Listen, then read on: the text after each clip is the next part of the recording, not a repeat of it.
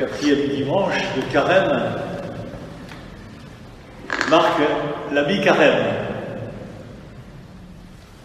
Nous sommes à la mi-carême.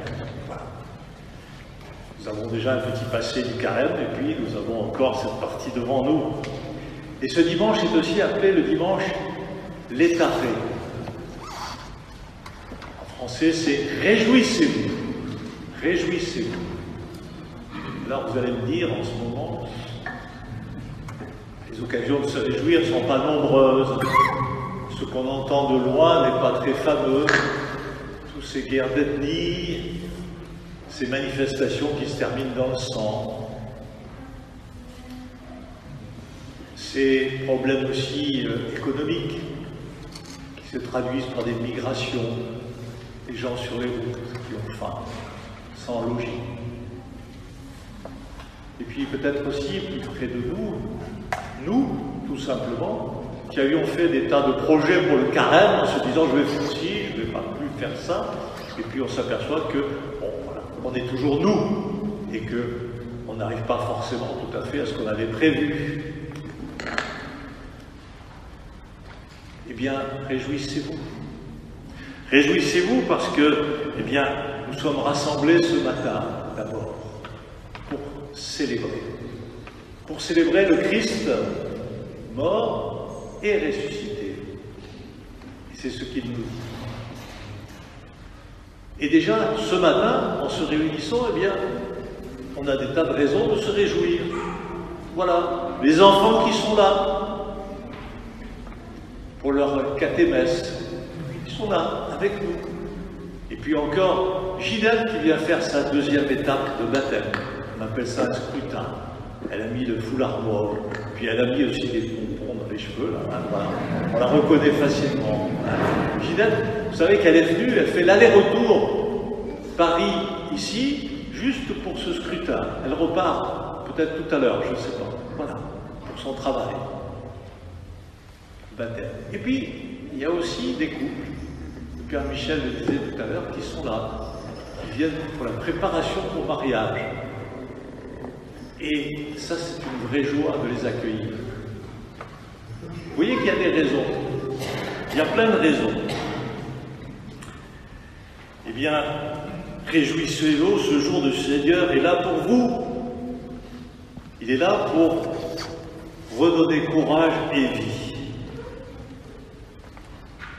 Et on a entendu ce psaume, on a chanté ce psaume. Le Seigneur est mon berger, rien ne pourrait me Et c'est ça, ce psaume. Et il dit aussi, même si je passe par les ravins de la mort, je ne crains aucun mal. C'est notre foi, c'est ce qui nous habite. Habiter la maison du Seigneur tous les jours de ma vie, c'est ça notre but ultime. Alors, comment orienter notre regard pour trouver la route vers la maison du Seigneur? C'est ça, la vraie maison du Seigneur, celle-ci n'étant qu'une représentation terrestre. Alors nous avons tous des acuités visuelles différentes. Qui voit bien, moi j'ai des lunettes assez fortes, voilà, qui voit mal. On est comme on est quelquefois, avec des problèmes de santé. La question est comment être voyant avec la vue que l'on possède, hein, dans le sens de notre texte d'évangile. À la lecture de ce beau texte de Saint Jean, il me vient d'une manière spontanée une image et une parole. Alors pour l'image, ça remonte un petit peu loin. Je reviens en 2013. En 2013, il y a eu un grand rassemblement à Lourdes qui s'appelle Diaconia, rassemblement de toute l'Église de France. Nous étions dans la basilique de Paul VI, peut-être 12 000, je crois, et la lecture de l'épître, la lettre, je crois que c'était une lettre aux Corinthiens, j'ai bonne mémoire. Donc un monsieur vient, comme moi ici, au pupitre, et après s'être bien installé, il a pris un petit peu de temps, il s'installe, il touche le livre comme ça, et puis il commence à, à lire. Ce que je pensais qu'il allait lire en fait. Et puis il restait, regardait la foule comme je vous regarde maintenant. Je dis comment il a appris par cœur ce texte. Et puis je vois sa main qui courait sur le livre. En fait, il lisait en braille parce qu'il était aveugle. C'était magnifique. Magnifique parce que ça détachait la main de sa voix. Et sa lecture était parfaite. Plutôt son, proclamation était parfaite, parce que ce n'était pas une lecture. Alors, quant à la parole maintenant, c'est la réponse de Jésus à Jean le Baptiste. Jean le Baptiste qui est emprisonné et qui lui demande s'il est vrai, s'il est vraiment le Messie qui doit venir, ou s'il doit en attendre encore un autre. Jean, quelque part, qui dans sa prison doute, et la réponse de Jésus, ce sera la parole. Les aveugles retrouvent la vue, les boiteux marchent droit, et les sourds entendent. Jésus utilise la guérison de ces mots qui handicapent profondément l'homme et le séparent de ses frères. Et il donne ça comme sa carte de visite, on pourrait dire. Carte de visite de Jésus, ben c'est ça. Guérir. Nous guérir. Eh bien, voilà. Les enfants, ce matin, je vous propose de faire de cet aveugle votre coche. Voilà. Et un aveugle, pour coche, c'est pas terrible peut-être. Hein, voilà. Eh bien, on va regarder un petit peu ce qu'il fait cet aveugle. Cet aveugle, d'abord, il est à la porte du temple et il ne demande rien à personne sinon une pièce.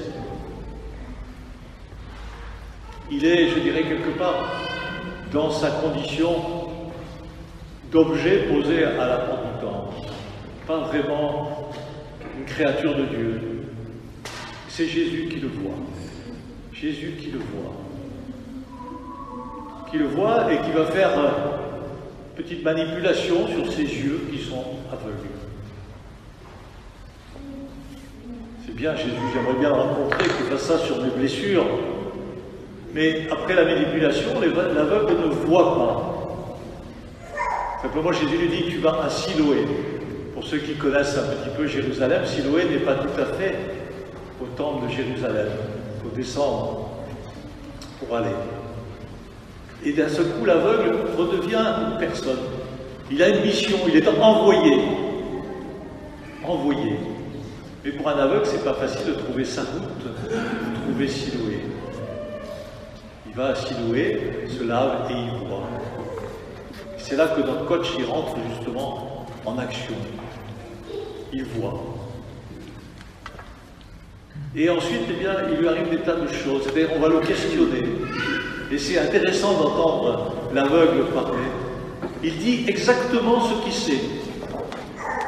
Il n'essaye pas de dire, oh là là, mais j'ai de la chance, etc. Regardez-moi, je vois. Non.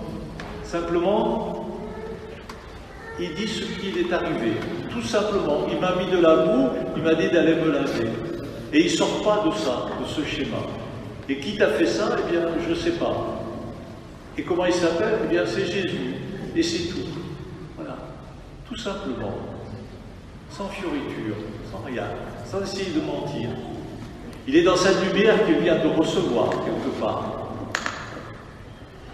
Il vient d'être illuminé. Et les pharisiens peuvent dire ce qu'ils veulent de toute manière. Il est dans son schéma. Et il va plus loin, dans une deuxième étape, il dit, mais c'est un prophète. C'est un prophète.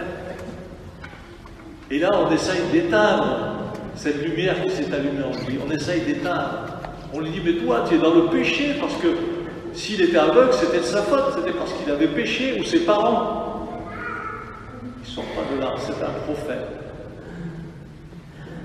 Et on dit même comment se fait-il que vous, les gens du livre, vous ne savez pas? Il m'a rendu la vue et vous ne savez pas qui il est. Et vous avez sans doute entendu que là, il se fait mettre dehors. Mais ça n'a pas l'air de l'inquiéter plus que ça, d'avoir été mis dehors. Dehors, ça veut dire dehors du temple, hein, ça veut dire sorti de la communauté. Alors cet aveugle, coche, eh bien, qu'est-ce qu'il fait Il fait rien. C'est encore Jésus qui vient le trouver. On dit alors, alors ils t'ont mis dehors. Et là, eh bien, la rencontre vraie va se faire. Cette rencontre, voilà, c'est sa vision qui devient de plus en plus nette parce qu'il revoit Jésus. Sa vision va devenir totale, justement, en présence de Jésus. Qu'est-ce que dit Jésus? Tout simplement, il revient vers lui avec la question Crois-tu? Crois-tu à celui qui t'a vu et qui t'a guéri? Crois-tu à celui qui t'a vu et qui t'a guéri? Parce que toi aussi maintenant tu peux le voir. Tu es arrivé à un moment où tu peux le voir. Il est en face de toi. La réponse de l'aveugle, l'aveugle illuminé, qui a toute sa vision, une pleine vision, est faite d'une parole. Je crois, Seigneur, et d'un geste, et se prosterne. Il a tout dit. Eh bien, nous aussi, dans ce temps de carême, comme l'aveugle né, nous sommes envoyés vers l'eau du bain, l'eau du bain qui nous vivifie. Et Ginette de recevoir cette eau du bain pour la première fois en Pâques. Mais nous devons nous le recevoir aussi tous, cette eau du bain, la recevoir